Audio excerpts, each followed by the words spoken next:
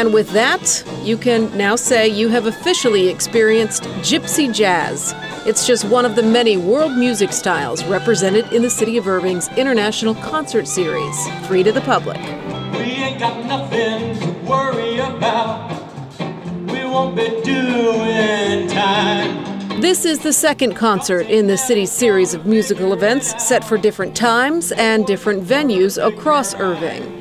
And while Gypsy Jazz is the musical feature for this day, reggae, polka, salsa, and many other international flavors are also on the menu. We're just hoping that it's a cultural experience for everybody involved, and what we're trying to do is locate the concerts at different venues in Irving so that we can have a mass appeal to the entire community.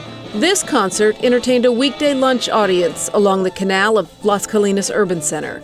The Woyak family of Irving found it a perfect excuse to set aside their family gardening business and spread out for a picnic lunch. It's a great, great, beautiful day, and we like being outside. We thought we would picnic, so it's a good opportunity to be together as a family.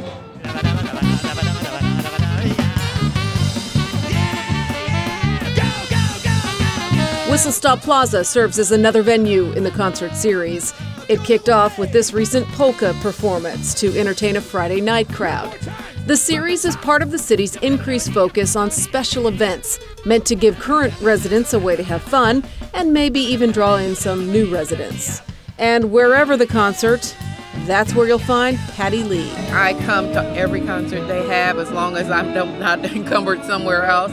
I love the variety of music they offer. It's always in fun venues. You can get up and dance. You can pack a lunch and come and enjoy it. And the music, as you can hear, is absolutely awesome. Was it standing room only on this day? Mm, not exactly. But city organizers say that's okay. It's a first time event.